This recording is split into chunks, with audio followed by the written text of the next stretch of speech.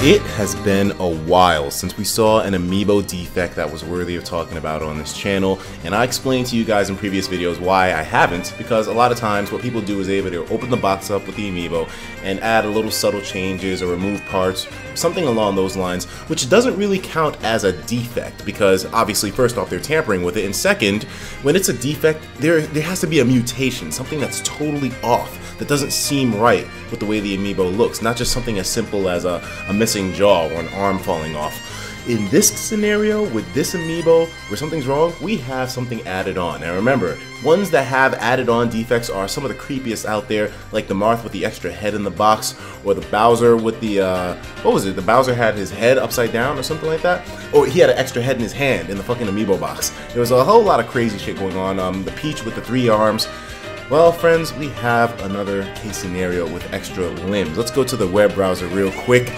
Uh, th this is not necessarily the amiibo I'm talking about here, but um, we have a Lucario with three arms on it.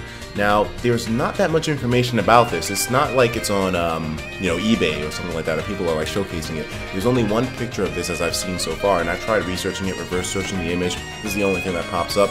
Um, we can try another reverse search right now. I was asking around a little bit about you know where the hell this could possibly be found from, but no information about it, like what it's about, um, or if you can purchase it. But big thanks to this guy, Adam Ketchum, who actually showed me this on Twitter. Um, big thanks to you, man. A link to this will of course be in the description. And let's take a look at the defect in detail more. So it looks like the arm is pretty much attached to Lucario here.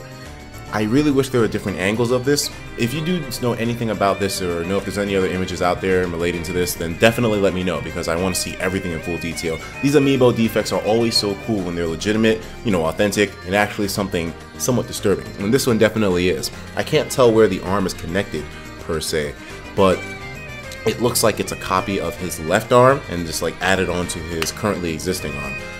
No other details about this are known though, and I don't know, man. I mean, it's hard to say if it's real or not, but here's the thing, right? When it comes to like extra limbs, I guess what somebody could do is open the box, rip off the limb of a current amiibo that they have, and just add it on to one.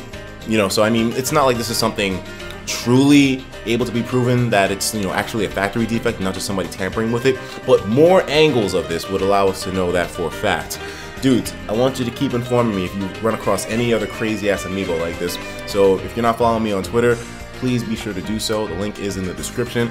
Uh, anything else that you find weird or quirky in terms of the amiibo, I would love, I definitely love to know. I mean, I know the Yoshi Yarn amiibo recently just came out, so of course I'm expecting some strange things to be the case with those things, um, especially the Mega Yarn Yoshi. Anything about them, you gotta let your boy know. I'll talk to you guys in the next one. Let me know what you think about this defect.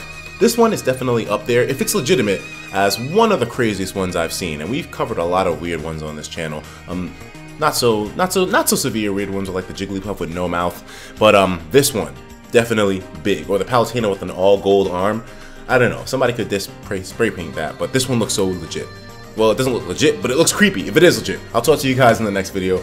Take care of yourselves, and of course, as usual, please have yourself a damn good one.